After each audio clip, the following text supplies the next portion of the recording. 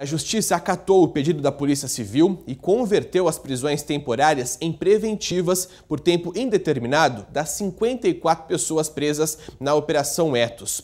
Bom, o grupo, na maioria de advogados, é suspeito de envolvimento com uma facção criminosa que age dentro e fora dos presídios paulistas. O relatório final do inquérito sobre o caso também foi encaminhado pela Polícia Civil ao Fórum de Presidente Venceslau.